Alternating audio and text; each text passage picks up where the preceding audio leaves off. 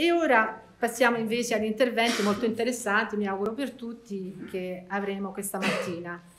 La prima persona che inviterei a prendere la parola è la nostra amica, se posso dire, assessore alla cultura del primo municipio, Cinzia Guido. Prego. Sì, buongiorno. Quando parlava di interventi interessanti non faceva riferimento a me, eh, subito. eh, sono qui per darvi il nostro benvenuto, il nostro augurio di buon lavoro, anche a nome della Presidente Sabrina Alfonsi. Sono qui con Emiliano Monteverde che è assessore alle politiche sociali, che poi parlerà, vi saluterà un attimo anche lui. Eh, devo alzare di più il tono della voce, mi dicono.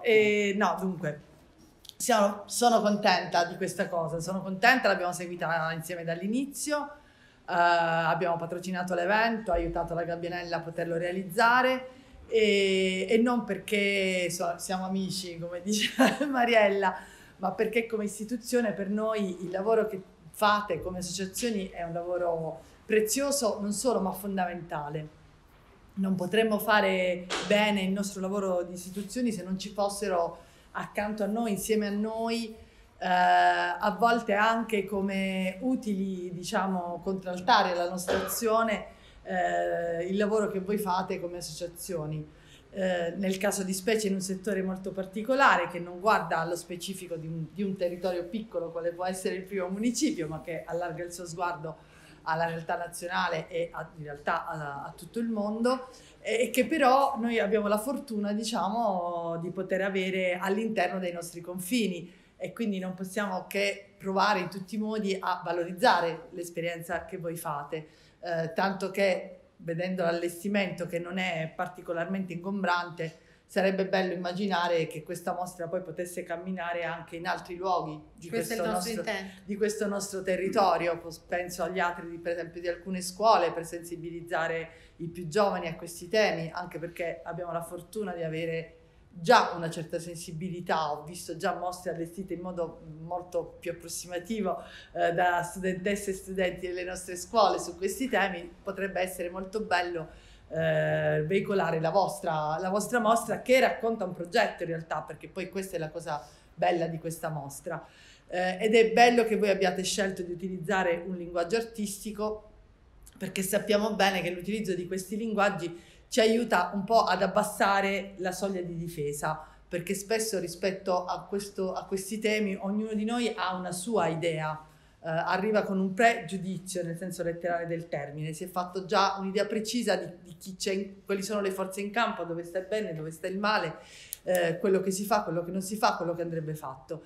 Eh, invece eh, attivare diciamo, canali più vicini alla sensibilità, all'empatia, all'emozione, eh, aiuta un po' ad abbattere queste, ad abbassare queste difese, eh, a farci trovare un pochino più impreparati, un po' più disponibili eh, al racconto dell'altro per quello che l'altro è, che sia altro individualità, che sia altro collettività, eh, però sicuramente ecco, a superare eh, quei confini che ciascuno di noi pone a volte anche senza rendersene conto. E quindi da questo punto di vista sono molto contenta che un'esperienza anche così importante e densa come quella che voi portate avanti, abbiate scelto di raccontarla con un linguaggio che aiuta un po' tutti invece a entrarci in dialogo, anche quelli che sono lontani, che non hanno mai avvicinato questo tipo di esperienza, che non la comprendono, che la respingono.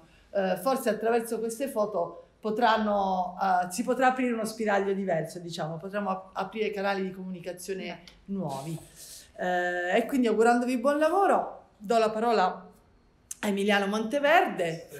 Sì, faccio io, eh, faccio io così. Basta dare uno spazio subito. E, e, niente, vi auguro veramente ancora buon lavoro e di ritrovarci su queste strade. Accogliamo anche l'invito a presentare in altri siti, grazie Veloce, così, basta, dare un attimo. Veramente esatto. Un, eh, aggiungo solo appunto, eh, partendo da tutto quello che ha detto Cinzia, quindi non, non ripetendolo, aggiungo solo una brevissima cosa che ci tenevo a fare qui, l'ho tenuta, non l'ho ancora detto, tra l'altro l'ho annunciata un secondo fa a Mariella. Eh, noi, mh, dato il clima che c'è, anche nei confronti, per tutte le cose che si sono dette, una mostra di questo genere aiuta no, a far conoscere, ma in questi anni c'è stato uh, un lavoro molto forte di delegittimazione delle organizzazioni, delle associazioni, delle ONG in ambiti diversi, però diciamo così il rapporto di fiducia tra le persone e organizzazioni che lavorano sui temi diciamo, della solidarietà o dell'inclusione a secondo dei casi eh, è eh, da una campagna continua eh, in, molte, in molte situazioni incrinato. Noi abbiamo deciso come municipio di eh, costruire una eh, di dare vita a una campagna di eh, informazione e comunicazione sui temi di eh, adozione, affido e sostegno a distanza, che sono molto diverse tra loro, ma sono comunque uno strumento di accoglienza diversa diciamo, dell'altro. Eh, abbiamo insomma, deliberato di stanziare i sufficienti fondi, tema che si dice sempre non ci sono le risorse, diciamo, l'abbiamo deliberato proprio in questi giorni e quindi noi partiremo con una campagna di comunicazione che prevede anche un opuscolo che però verrà distribuito ovunque dalle ASL eccetera proprio per ricominciare a ricostruire una conoscenza, occasioni perché da molto tempo mancano anche momenti anche istituzionali diciamo così di confronto, di, di coinvolgimento, di informazione. Naturalmente per la parte affido a distanza, diciamo così, la gabinella, eh, scusami, sostegno a distanza, eh, parole erano troppe, sostegno a distanza, sostegno a distanza, la gabbianella sarà, adesso nei prossimi giorni faremo un gruppo di lavoro diciamo, per la produzione di questo materiale, però vogliamo che sia diciamo, uno dei punti centrali di questa comunicazione che verrà prodotta in tutto il nostro territorio municipale, che però insomma, è il centro di Roma e quindi questo è un elemento, è un elemento importante. Chiudo dicendo proprio che